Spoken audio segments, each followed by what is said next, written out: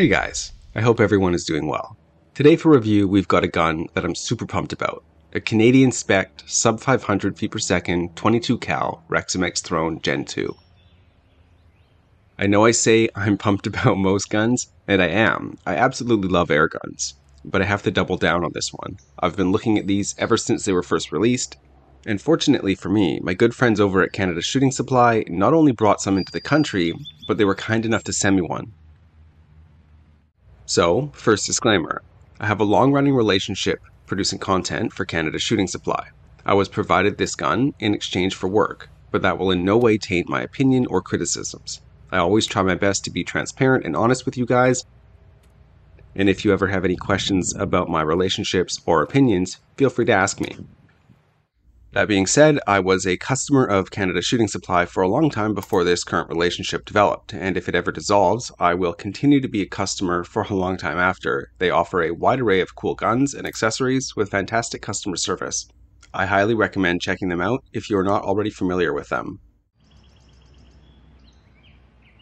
Moving on to the gun, the Throne Gen 2 is of a design that has become more and more common over the past few years due to the success of the FX Impact which this gun and many like it owe their existence to. Not only through its design and function, but through the creation of this entire segment of the airgun market.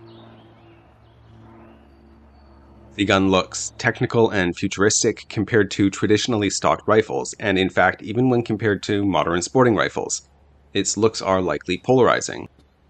You either like it or you don't, and I do. In fact, I love this particular style of bullpup rifle. That being said, I'd also be one of the first guys lined up for a draft to fight aliens on a distant planet, so take my opinion on aesthetics with a grain of salt. I can certainly see why a person would choose a more traditional rifle over this. The majority of this build is aluminum, but there are several polymer pieces, namely the pistol grip and buttstock. The polymer feels high quality, and the gun overall feels really well made. Its tolerances are tight, and I couldn't find any burrs or rough edges. One interesting point to note is that despite its compact size, the gun is a hefty one, weighing in at 7.7 pounds unscoped and just over 10 pounds with a larger optic on it, which isn't the heaviest gun I've ever weighed, but it seems heavier in hand due to its compact nature. Just something to keep in mind if you're thinking about using one of these out in the field.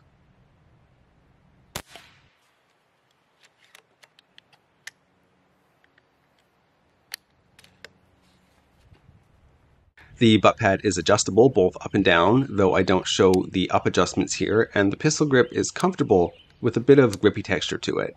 Overall, the gun feels nice to hold and shoulder. The only issue I have with the shape of the gun is the cheek weld. This might just be an issue specifically for me personally, but after prolonged shooting sessions, as I was approaching the 50 shot mark, things got a tad not uncomfortable exactly, but I became pretty aware that my cheek was digging into a really unnatural shape. It was worse with the single shot tray than with the magazine, as the mag pokes out to the right hand side of the gun and the single shot tray sticks out to the left hand side. Speaking of the single shot tray and mags, if you are familiar with any other Reximex or Kral guns, you will be immediately familiar with these parts as they are the same, which I'm not mad about. Yes, the single shot tray is kind of finicky, but I do enjoy a little continuity if it lessens my learning curve. In 22 cal, the mag holds 12 rounds.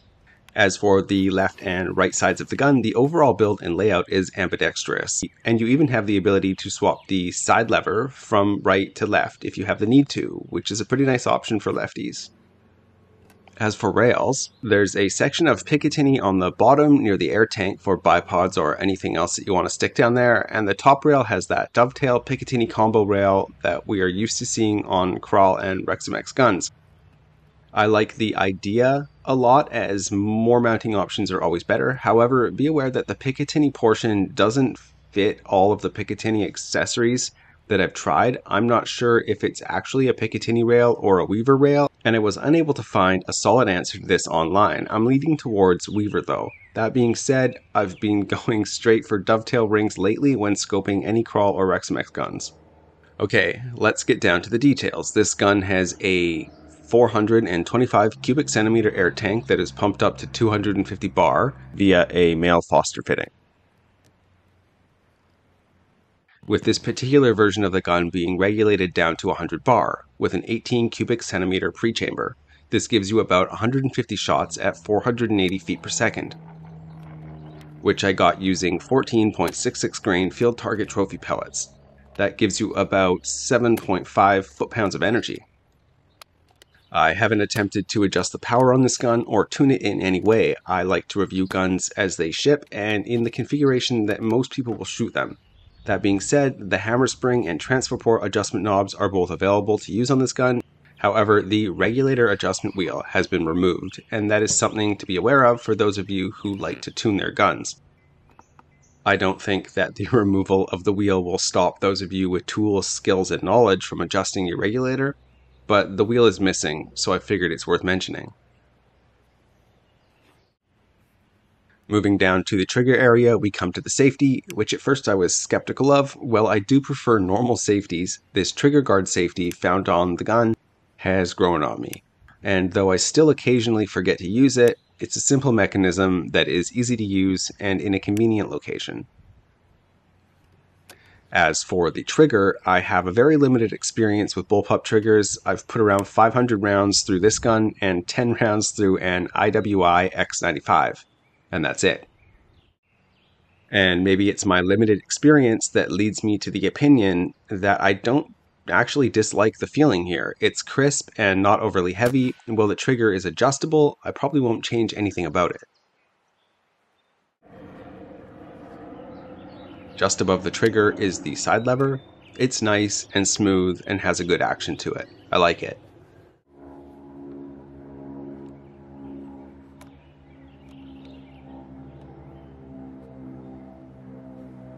The gun can be decocked, just like most other guns, by being careful to hold the side lever back securely, pulling the trigger back, and then slowly bringing the side lever forward.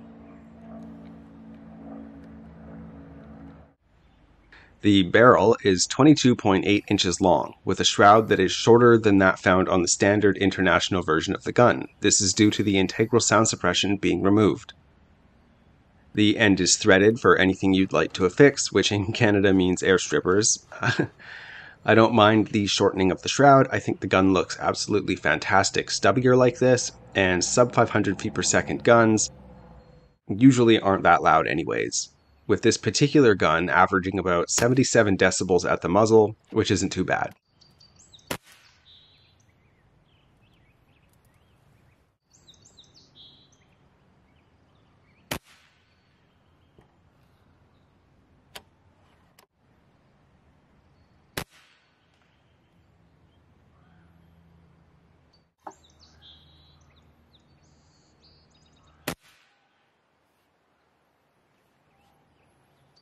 All that said and done, let's get into some shooting. I have the throne topped with a 6 to 24 by 50 Axion scope and I'll be shooting at 20 meters. I'll be shooting 5 shot groups out of a single shot tray and the target footage will be sped up 10 times to save time.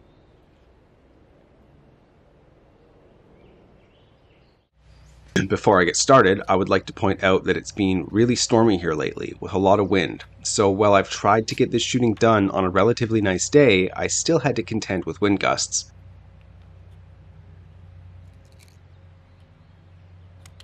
That's just the nature of springtime shooting here in British Columbia.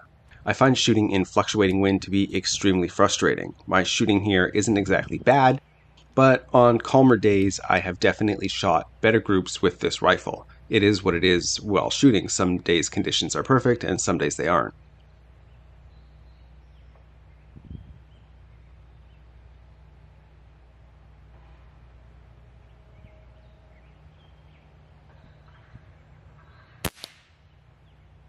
For our first group, we have 14.66 grain field target trophy pellets from H&N, and it's one of those really confusing groups where three of the shots grouped together, and the other two are also together.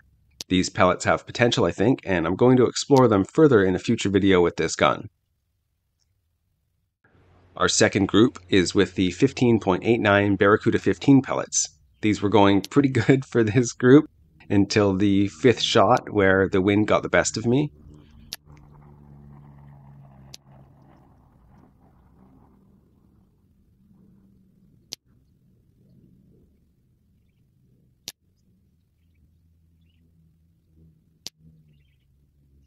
Our third group is shot with 15.89 grain JSB exact. This group is okay, however, I'm not quite sure why it migrated downward with each shot.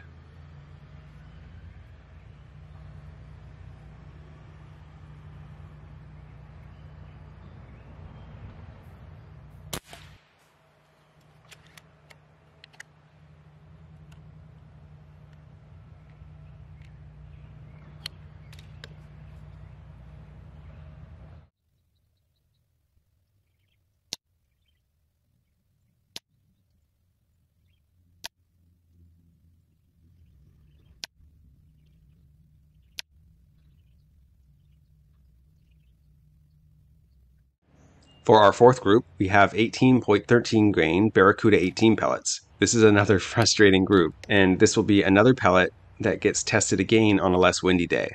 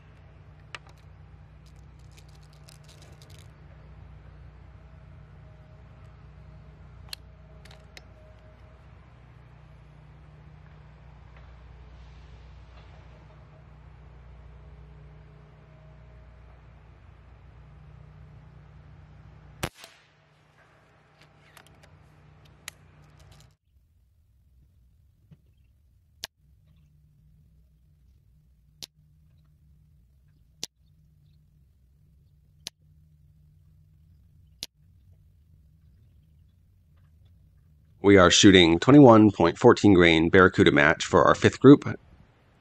I don't know what to say. My groups today have a very similar pattern to them, almost like they are made up of two smaller groups each. It's interesting, uh, if not completely frustrating.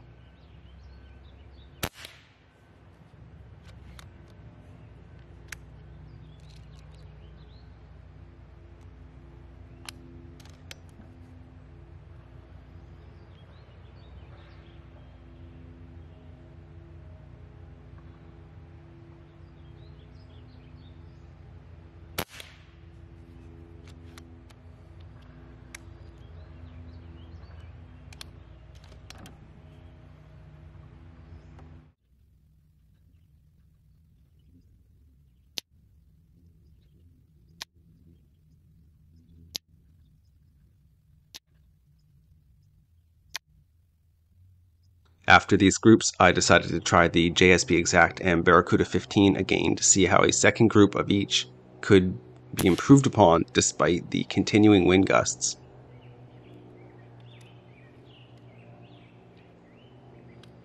So for group number six, we have JSB Exact again. While this group isn't perfect, it's an obvious improvement over the first JSB group.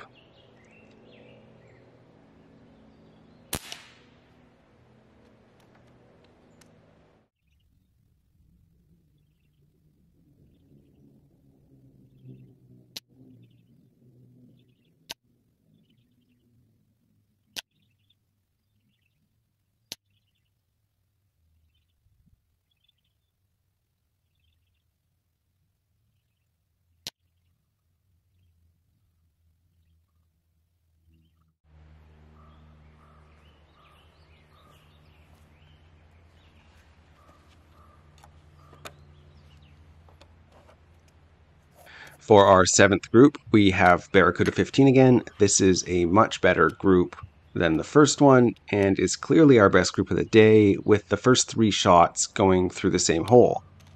Uh, it's not perfect, but I'll take it.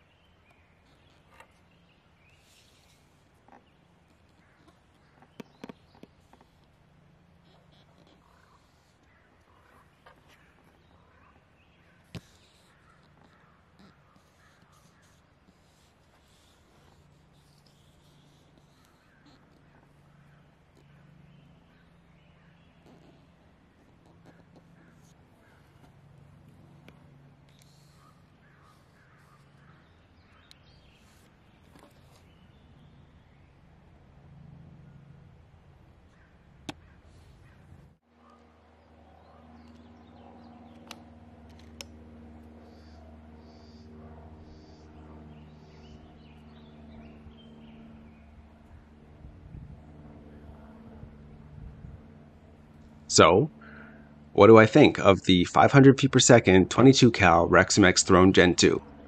I absolutely love it. Not only does it feel exceptionally well made, but it looks fantastic. It has enough adjustments and features to keep even seasoned shooters interested for a long time, and it's a capable shooter. It gives you more shots per fill than any of us have the right to ask for. And all of that comes in one super compact package that measures less than 30 inches in length. What more can you ask for? Do me a favor and go check out Canada Shooting Supply. I'll put their contact info down in the description box. They're absolutely worth checking out if you're a Canadian airgun fanatic like myself. And be sure to like this video or subscribe to the channel if that's the sort of thing you're into. Don't forget to comment if you have anything to say. Thanks for watching and have a great day.